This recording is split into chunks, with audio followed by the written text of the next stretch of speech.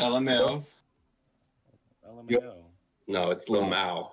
Yo, what's good, guys? That's up, Patrick. Yo, are you gay? Patrick Star. Nah, bro, but yo, let me ask you a question though, bro. What would you do, bro? Two big black niggers walk down the street and they put their dicks up your ass.